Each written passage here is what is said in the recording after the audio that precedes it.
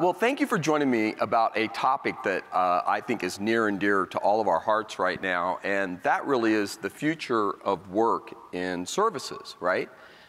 And where's all this head? Um, and when you look at this, uh, we're really moving from a working in office centric, uh, yeah, some of us were hybrid before all this, to an office to anywhere. And it's, first of all, been a busy time for all of us, right? Uh, we've had to take care of our teams, make sure we're still taking care of our customers, our families, being safe, obviously. Uh, and so we'll get started on this by taking a brief uh, bit of a history lesson. I know most of us all know this already, uh, but back in the 1700s, uh, we all know it was agricultural and based on craftspeople, right? Close to home, right? Close to home. And then we moved into the Industrial Revolution, and this was all about assembly lines, people moving to the city. This is where the office culture really got started, right? Because it wasn't only the assembly lines, it was also built around people coming in for HR, finance, marketing, all of these things had to be together for where the work was done, right? And then, you know, kind of in the 60s, uh, you start hearing about, you know, what was going to be next, and this was everything was going to be seamless in the future. We were all going to work a couple hours a week, and then, you know, we were just going to spend the rest of our times vacationing, uh, being with the family. It was all about leisure and how we made things easy for all of us, right? And uh, this is kind of where we're at. I wanted to show just a quick video. Uh, this was earlier this year and this is actually a judge talking with a lawyer uh, in a court, uh, remote court. I Have a filter turned on in the video settings. Uh, you might want to. Uh, uh, take, take we're trying to. We're tr can you hear me, Judge? I can hear you. I think it's a filter. It, the, it is, and I don't know how to remove it. I've got my assistant here. She's trying to, but uh, I'm prepared to go forward with it. That's I'm here live. It's not. I'm not a cat. I can I can see that. So look, uh, clearly uh, we are not as seamless as we need to be, and that's what we're all dealing with right now. So really when you look at the future of, of work for services, breaking it down into two areas to talk to you about today. The first is the emerging technology and people. We've been on this path for a while, right? We've been on path this for a while. So we've got to take a look at where we're headed and where that future is. And then bringing it closer to home to the near time uh, things that we're all dealing with, and this would be around our culture, uh, and our team, and then open it up for questions and discussions.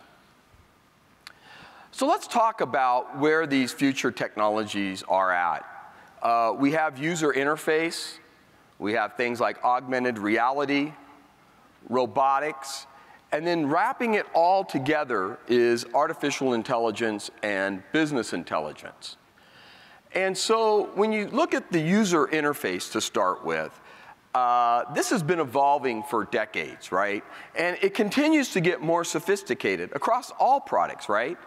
Uh, voice and uh, gesture recognition, eye tracking, we just saw that in the video, right? Touch and feel, uh, many of us have driven in a car. When you get close to the white lines, or the lines on the road, the steering wheel starts to jiggle, right? Starts to let you know or vibrate that you're getting close to the line. Well, similar to that, our remote engineers, when they're talking to a customer, we have all of the uh, data stored that we're doing AI and BI on, and it tells us when a customer is most likely going to be dissatisfied and flashes up a note to the uh, remote engineer while they're working the problem to let them know this is not headed the right way.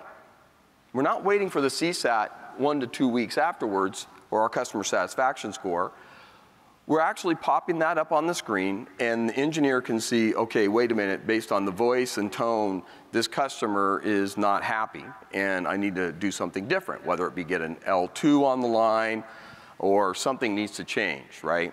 So this would be user interface, to give you an example. And I can't wait to see where this goes over the next nine to 10 years. I think this has a lot of opportunity for all of us. The other uh, side of the emerging technology, the second one, extended reality, right? And you've heard this referred to as augmented reality, virtual reality. These are the VR headsets that we're used to seeing, virtual event uh, applications, smart glasses, all of these things. And for all of our customer service folks, this will be a huge improvement in how we provide services. Already today, our field engineers can use their phone when they're going to a customer site, can take a snapshot of the system in front of them when they arrive at the customer, see that what they saw in the snapshot, it says it's an XPS 13. It'll bring up the schematics, it'll verify that that's what they're out to help repair or bring back up and start to walk them through what they're supposed to do to fix it, right? So it's, it's close to that. By the way, this would be things that we're already starting to use in very infant form when you go to a restaurant, you snap the QR code, it brings everything up. But this has really large implications for all of us, especially in the self-help and in the repair area. The third area is around robotics. And this is something we all know has been on the manufacturing side, and for some of us that have service parts, you know, pick, pack, ship, making sure our parts get to the customer on time has been around. But there's going to be more and more robotics brought into how and the way we deliver services, and that's really going to help us as well. And look, it's about making things, as we know, simple, predictable. JB talked about this, easy, right? And robotics remove a lot of back end processes that our customers don't find valuable. Uh, and, and so speeding that up, making it seamless and easy for our people so that they can spend more time in front of the customer, helping the customer deliver the outcome that they want.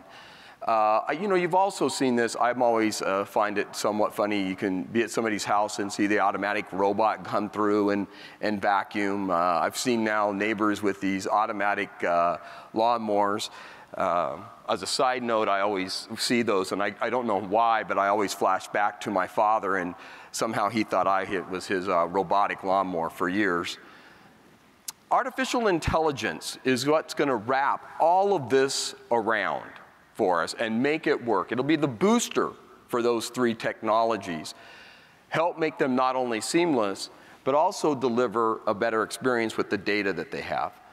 Now, over the last three to four years, we've hired uh, in Dell Technology Services around 200 data scientists. Uh, and they've helped us automate and digitize around 2,000 processes end to end. And what that means is, is actually digitizing, putting in the happy path of the way things, everything's supposed to work from beginning to end on those 2,000 processes. What that then bounces up against is the real data that's coming from the CRM and the delivery side. And when that happy path isn't followed, it alerts the individual and the manager real time, right? So that you're able to see what didn't happen. Why wasn't the process seamless? Why weren't we able to deliver that the way we thought it was? And when you add that in with the three items that we just talked about, robotics and the user interfaces, as well as uh, the uh, augmented reality, then you're going to be able to take through and see all of this and speed it up for the way we deliver to the customer. And it really gives us a lot of great opportunities for that future of work. But before we do that, uh, and we talk a little bit further about the technology, obviously our people are very key important to this. So what I thought we'd do is take a look at the poll I have up here. And if you wouldn't mind joining me on this, the, according to the Institute of the Future, what percent of jobs in 2030 haven't even yet been invented? Is it 25% A, B 45%, C 65%, or D 85%? So let me know what you think on that. I'm sitting here looking at the votes. It's kind of all over, and actually pretty well balanced except for the, the 25%. And I think we're going to land somewhere almost a tie here, if you can see. All right. So we're gonna we're gonna stop there. It, so it looks like the, the the rounding 65%. Believe it or not, the answer, according again to the Institute for the Future, is 85% of those jobs haven't even been yet created. Think about the impact that this is going to have on our team members, especially in addition to those emerging technologies we already talked about that we continue to develop. I can't even imagine uh, in just short, uh, nine short years that 85% of the jobs that'll be there in 2030 aren't even yet invented. And so, with that in mind, our team members, we're really going to have to help uh, relate and work them through two key components to get that human machine partnership, and then the future of learning, right? The future of learning. So, just for a moment, I'm going to talk about human machine partnerships. And this is going to spread decision making and collaboration. And I actually think it fits very nicely with what JB was talking about this morning, which is it's about making things easy, uh, not only for the individual delivering or working with customers, but also cross functionally across all of our organizations. I know that compared to five years ago, I'm spending way more time with the product group, engineering, marketing, and sales. Uh, because this is this, you've got to deliver the overall end-to-end outcome to the customer. Well, that's what this is about. And the lines are really blurring between humans and technologies. Remember when I was talking to you about the remote engineer, uh, the steering wheel, and that CRM pops up and lets them know things aren't really working as they thought? Well, we've also loaded in, as all of you probably have, is knowledge management system and access to the internet.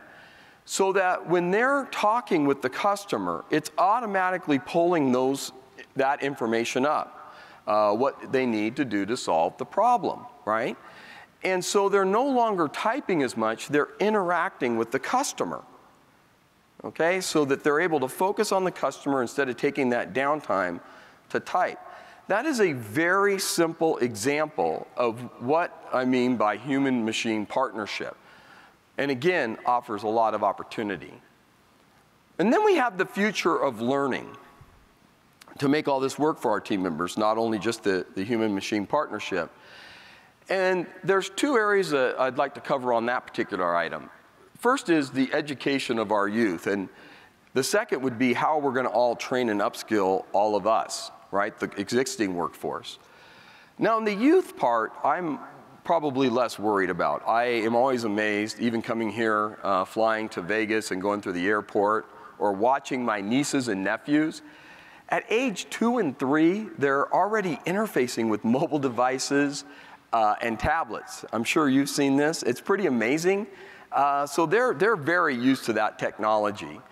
I also know that in you know my own children, uh, watching my son play video games, and I would say, hey, why don't you uh, why don't you go out uh, with your buddies and your friends? And he'd say, I'm with my buddies and my friends on you know right now playing live, and so they're very used to that.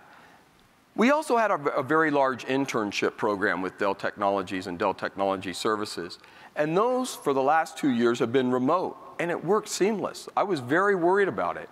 Now, we had to have defined projects, we had to change things around, but it worked, uh, and we're having high acceptance rates. So I think the youth part of this is, is probably going to do very, very well. Training and upskilling the existing workforce, that's probably where we're going to have to spend a little more time, right? You have people like myself who still, when I get into a car and it's trying to parallel park for me, I just, I can't let it happen. I can't let go right? I don't know why. It's just, I'm not into letting that uh, machine do it on its own, right? And so you've kind of got to let go a little bit and help train our team members on that is probably going to be more of the future, right? The need for manual and physical skills will decline. Right? If you're doing more things automated, think about the remote engineer that was talking to that customer. They're not typing as much, they're interacting more. And so the need for technical uh, skills doesn't mean they're not important, they're still very important, but the need for emotional skills, EQ versus IQ, is going to increase. Again, going back to what JB was talking about this morning, we have to go make things simple across way more than just services. That means interacting, taking data, and delivering the outcomes still that our customers want. You have to have individuals that are going to be able to work across those aisle and still deliver the outcome to the service. And that takes partnering, that takes EQ, that takes give and take, right, across a wide uh, swath of what we're doing today. So, and in addition to that, the half life of skills uh, has dropped from 30 to around five years. And my guess is is even shorter than that now. So not only are we going to have to retrain, we're going to have to have the pro uh, process that get, trains us all in very short order. Go back to that 85% in 2030, right? constant learning. And do we have not only team members, but the systems and the processes that will allow us to do that? It also has implications on who we're hiring, right? You can take that further. Now, the traditional way of opening up a requisition, at least uh, for most of us, was you would write down everything that needed to be done and then the qualifications. And in the qualifications, you would put maybe a four-year degree IT uh, programming, coding, let's say, for example. Uh, maybe you need an MBA, something pretty specific. And that was a way for us to define what we needed but maybe that's not the best measure, right? Maybe it's the skills you need, uh, and maybe you have somebody with a four-year degree in English, but knows Python and can really code, and you have ways to test them remotely through this AI and BI to see that they have all that capability, that opens up a whole wide door for new talent. And not being connected to an office, right, and being connected to this hybrid work environment uh, work from anywhere, think about the potential of where talent is at now and where you can go. No more relocations. You're going to be able to hire talent globally wherever the best talent is at. And that is a competitive advantage, right? And decision making, you know, we've all been uh, working on that. But look, it's going to be, you're going to have to have less experts out in the field, most likely, with this technology and specialists, right? Now that doesn't mean they need, don't need to know what they're doing. That's not what I'm saying. But what I'm saying is this, right now, uh, for Dell Technologies Services, we have a support assist program. It does proactive, predictive service and lets you know what the problem is beforehand. So if you went back five years ago, our field engineers, when they went out on site, had to know hundreds of systems. They just had to memorize and know all that when they went out there and they were doing the diagnosis and fixing the problem. Now, when they're going out, they still have to know what they're doing, but they have the assistance of knowing what the problem is, where they need to fix the problem, and what the issue was before they get there, right? It's assistance. It's about not having to be an expert in everything, knowing what you're doing, and it's going to make it easier for us to, to deliver service. But we're going to have to prepare folks for that. And as we move to the hybrid and pivot to hybrid work more near term here, I thought we'd do another poll. So hybrid, uh, you know, where did you first see hybrid being done? Was it in like on a TV show? I Love Lucy, The Brady Bunch, or Succession? We're seeing what we got here. Very few on I Love Lucy. And it looks like everybody chose what I did, which was the Brady Bunch, right? Uh, and so if we go to the, back to the presentation real quick. So look, I don't know that there's a right answer here, okay, to be honest with you. But that's where I first saw hybrid being done when I was a kid. And that was Mike Brady coming home and, and working uh, architecture, I think it was, down in his office uh, at nights and on the weekends. Also appeared to be where everybody went to tell him his problems. I think I would have been headed back to the office. Uh, but, but look, that hybrid's been with us for a long, long time. And many of us remember when mobile phones came out and they allowed us to take calls while we were driving home, right? Or on the weekends. Uh, I actually remember the first portable Compaq I got way back when uh, in accounting and finance, and, and it wasn't very portable, but we could work from home at nights and weekends. But it was seen more as an add on. You still needed to go to the office, it just allowed you to work longer hours uh, and be in contact. But that was kind of some of the beginning we've all lived in with hybrid, right? Uh, and so the key takeaway is, is that's been with us for a long while. But it's clearly here to stay and is going to be a competitive advantage for all of us that can figure out how to make all this work and still deliver that great service. You know, McKinsey did a recent study and they showed that 75% of people today want to work at least two days from home. And I think that that's probably just the beginning. I think when you get down the road, that that only increases that flexibility uh, that people want. And I also, as we talked about, think it's going to be a competitive advantage for companies that can go figure out how to make all that work because your access to great talent is unlimited. It's global, it's anywhere. And so we really should start, uh, probably stop calling this uh, hybrid work and start referring it to office to anywhere work, right? I mean, it is going to be anywhere. But it's going to take an adaptive mindset, okay? And that is going to be important for all of us. You know, the Industrial Revolution took about six decades, give or take. The digital revolution, six to 10. And these are just roundabout numbers. The hybrid that we're all in, even though it's been with us, took about six months for everybody globally to adapt to very quickly. For myself and the team, it was about two weeks, okay? We, about 50% of the team members were flexible hybrid before the pre-pandemic. And then when that happened, we had to get the other 50% very, very quickly uh, to remote. And I was amazed. It worked. It worked. And it was not seamless, but it was, we were able to take care of the customer, get everybody remote with their broadband, get the systems that they needed out there, the cameras, all of these things. And I had to say to myself, uh, that adaptive mindset, maybe I was wrong on which jobs needed to be close to the office. Maybe I was hanging on to the reins just a little too tight. And maybe this will give us the better access, like I said, to talent around the globe. So an adaptive mindset, right? But we also have to worry about our culture, not just our team. And so, you know, for those that are new to the org, uh, uh, you know, the org and the hybrid uh, model that we're in, we're going to have to worry about this culture. And shifting it you know, is no easy feat. We know that. Culture takes time. You know, Edgar Schein actually created a great model where he talked about the organization uh, culture in three aspects. Artifacts, these are things you can see, touch, feel. Values, uh, these would be ethics, goals, norms that we have. And then assumptions. I just told you about a base assumption. I kind of thought, you know, 50% of the people pre-pandemic those folks that were there, we probably needed to be close to the office. The assumptions you can't always see, they're beneath that iceberg.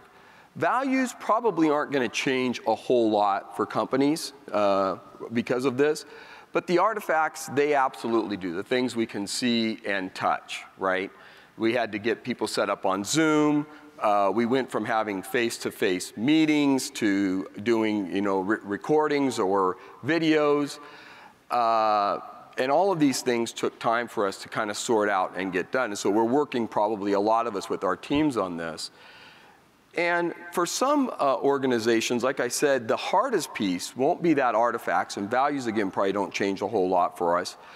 But those assumptions, those are what we're probably struggling with uh, at a management level, right? Who can be there? Who can't? Is it just as productive? Can program managers really do programming and working together if they can't be in the office on the whiteboard.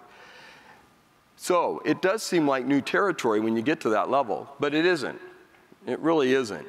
And if you think about it, there's a lot of teams out there, a lot of you out here uh, in the audience that come from big five, uh, field organizations where remote's been around and hybrid forever. Sales teams, right? So that culture really is there. You're just going to have to tap into where the places it's already been working. Now, I remember uh, for a, a great amount of time, we always were trying to figure out how to bring the people that were remote or hybrid into the culture of the office because when you did studies, they said they didn't feel connected. Well, now that we're all there, we're going to have to figure out how to rewrite that rule book and how to bring everybody. So it's actually an opportunity to reinforce and strengthen where we're headed. But look, it does, uh, it does pose some near-term problems for all of us. We're going to have to rethink how we were delivering and doing face-to-face, -face, how we reach out and touch uh, our team members either through video or through phones. And, you know, creativity, I worry about that, right? Um, how do we still make sure that we're able to bring up ideas? You know, I, for example, get a lot of energy when I'm in a team room uh, with people. You can shake hands before the meeting, meet new people, uh, talk to old people about things that you've done since you haven't seen them last. I mean, that's an energy. You get a connection from it, right? And you can get somewhat isolated with team members in Zoom and only see the person you're talking to. It's very efficient for meetings, but it may be just a little too efficient. So you have to remember to reach back in and pull people in, make sure you're getting those brainstorming uh, sessions going, because you do miss that casualness of, the, of it all. And look, uh, numerous surveys have said that, believe it or not, the executives uh, and managers are struggling more with this. I think everybody is to adapt, to adapt, by the way, but the executives is struggling more with this uh, from an autonomy and a management standpoint than the team members, right? Because everything that we've learned about how we manage and how we also interact with our team members has changed for us, right? And so we have to get that completed as well when we looked at it. So there's really three uh, things that we focused on from Dell Technology Services I thought I'd talk to you about on this near term. That's not to say it's perfect. This is a absolute journey that we're on, uh, along with all of you, on learning on how we do this, but I thought I'd talk about the three things that I have learned. One is uh, make sure you're still doing things from an inclusive and authentic leadership standpoint. Now, early on, we were trying to reach everybody, so we would pre-record messages, right? So we'd pre-record them, and they were scripted. I got tremendous feedback from the team that said, quit doing that. Uh, be authentic, be on there, have mistakes on it, just like you would if you were doing a face-to-face on stage. Nobody wanted to see pre-recorded or scripted meetings. So we make sure we quit doing that. Now that doesn't mean I don't have talking points, but I always had talking points that I wanted to get across, but I make sure I cover all those. But nothing is scripted and nothing is pre-recorded anymore. Uh, I also went to answering all the questions that everybody saw, and we allow everybody to see them, online, live. So I'm scrolling through this. You know, again, it was myself interacting with the team. And, and by the way, I did make mistakes. They see our cat and our pets and family members. But look, that's what people are, everybody's living with, right? So it's, it's not clean, it's not crisp, but it's me, right? And so that's what they were looking for. Uh, make learning interactive. So uh, pivot to things, uh, whether your training can be mobile so people can use it wherever. Uh, on emerging technologies, we're still having seminars with people, bringing in uh, talent from all across the globe, not just Dell Technologies, but the people that can talk about where things are headed. It's an opportunity, right, to reach out and do things differently and have our team members see and hear from a lot of different uh, people around on the industry and where it's headed. We've enabled job shadowing. It's actually working better.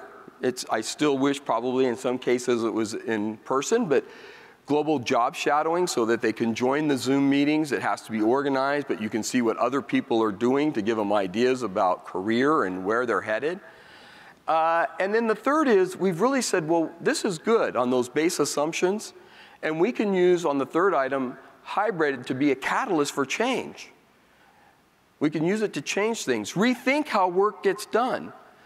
This opens up a whole new way of doing business uh, do we really need to be doing it the way we were? Are there opportunities, as JB was talking about, to make things simple? To actually get rid of steps that our customers don't value? So one way we started doing that is a large suggestion box that we call Let's Fix It. And every weekend I get to look at the new items, and it's people submitting things that didn't work for our customers. And how do we fix that? And we have a closed loop corrective action that goes back and fixes all those and communicates with the individual. So it's not just that they're putting it in there and hearing nothing back. And so people enjoy being part of that group. So, some final thoughts on this. Uh, look, the emerging technologies is reshaping the entire landscape. We all know that that was happening way before the pandemic, pre pandemic. But it's all sped up as well as we grab a hold of this and are leveraging it, in some cases because we have to, and in a lot of cases because it provides a better experience for our customers. Our culture, uh, our team members, you know, they need the long-term focus. It's not just on the uh, surface, on those artifacts. They're trying to read where all of our assumptions are at. You know, what is our assumption on remote work? What is our assumption on the delivery, how we're doing service? And so we have to be authentic. We have to be honest, clear, and we have to tell them it's a journey, right? This isn't like I can only tell you in the next six months. This will what will work for the next six to months and a year. We're going to learn from it, and we'll keep developing it. But hybrid is here to stay, and this work from anywhere. So we all know that that's real, and really that the future of services uh, has you know, no endpoint. That's what's great about this. We're going to be able to continue to develop it, continue to integrate it for our customers' outcomes way beyond just the service model. And in many ways, we are closer to that Jetsons future that you saw the slide earlier, where we're going to be able to bring this together seamlessly for the customers and their outcomes.